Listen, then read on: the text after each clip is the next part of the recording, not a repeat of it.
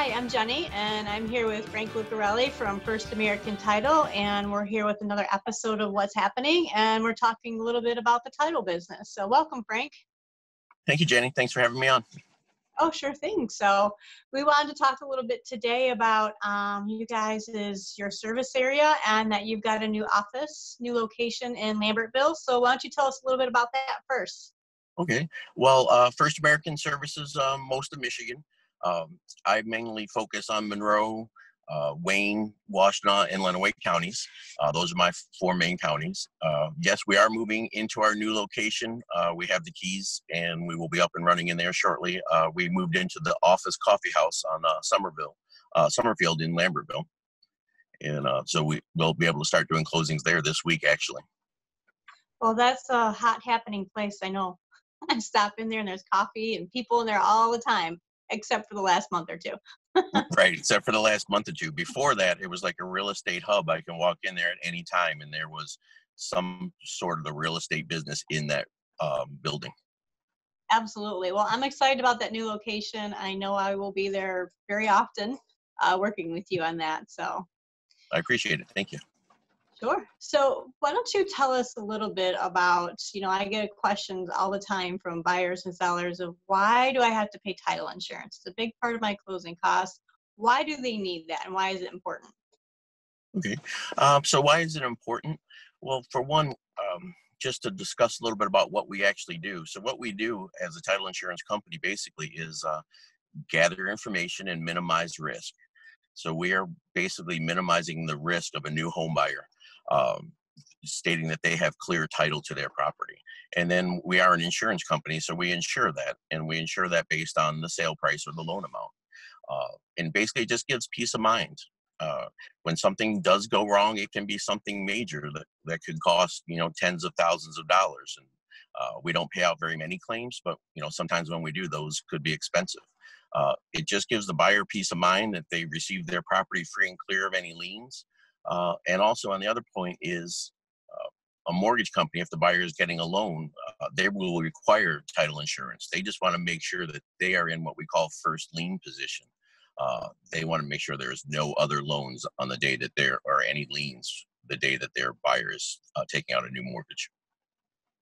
Well, I think there's nothing more scary than if you're buying a piece of property and find out a few years down the road that you don't own the rights to it or there's liens on it. I mean, to, I mean, I've been through transactions where there's been splits on land and that they thought they were buying all the land and they only own part of the land and things like that right. too. So, you know, it's very important, you know, if you've got an experienced real estate agent, they're going to help you guide you through this process. But I think for those that are out there considering doing a for sale by owner or a family to family transaction, that type of thing, definitely talk to First American Title about this and make sure that your investment is protected and you know what you completely own and that you're insured.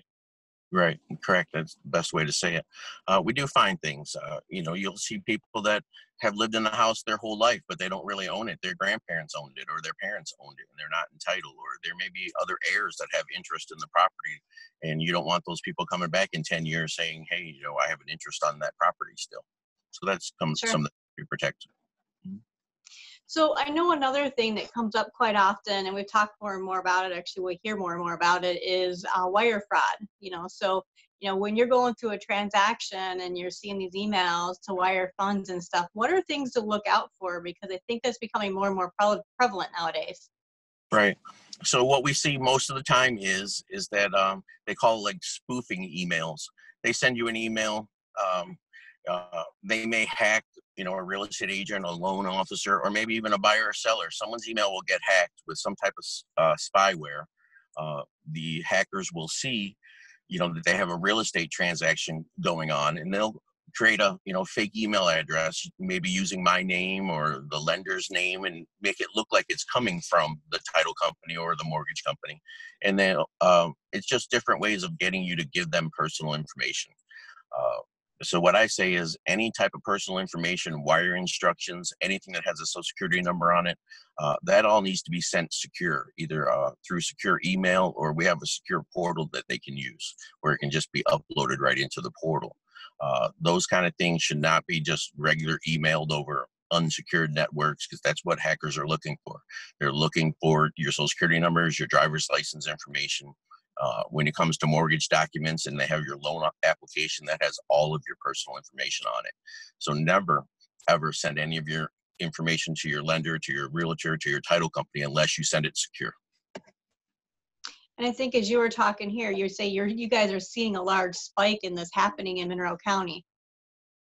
Right. We, we're seeing it all over the United States, and we never used to see very much of it in Monroe County, but we were made aware of a few instances in the last oh, four or five months with a few different real estate agents and a few different loan officers. Um, so it wasn't any, we couldn't pinpoint where it was coming from, but there was some fraud going on where they were trying to uh, gain wire instructions. Well, I think that's a good thing to note and buyer beware. Don't just uh, mindlessly, not necessarily mindlessly, but just don't go out and wire your money out there without verifying all your information and everything. So. Um, so one more quick question for you, Frank, before we close this up. Um, charities. I know you're getting involved in some of the charities. What is the charity near and dear to your heart, and what are your involvement in that? Uh, well, when I first started um, my career about 18 years ago, um, I was introduced to Habitat for Humanity in Monroe County, and uh, they were that was the first one that I ever got involved in. Uh, uh, I really like what they do. I like how you know it's home related, and I'm in the real estate industry, uh, so I've been working with them for basically the past you know 17, 18 years. Uh, I know that we work together, and that hopefully we'll be uh, working on a home together this summer. And uh, they're just I don't know, they're just a little near and dear to my heart because that was like the first charity I ever worked with. Well, yeah, I agree. You and I have worked on the last couple years on some builds. Um, hopefully, we'll be able to kick one off this year. I know we had one scheduled for June, but we might end up having to push that out a little bit. But I mean, I think they're a great organization to get involved in. I mean, it really ties with you know home buyers and getting them into homes. Um, so if you don't know much about Habitat, I would definitely um, check out their organization, and it's who they can help. They help more people than you would think out there. So. Correct. And one other thing about Habitat for any uh, homeowners, home buyers, is that they can always uh, look into the restore about if they ever need paint or any home supplies or things like that. You can get some discounted uh, supplies from the Habitat Restore as well. Oh, that's a good point. I go over there every once in a while and check it out. So. Yeah. Okay. Well, Frank, I appreciate you joining us. It's been very insightful. So we will be sure to um, kind of get this out there to everybody. And if anyone has questions on title insurance or what to do, um, give Frank a call and he'll be glad to help you. Well, thank you very much. Thanks for having me on.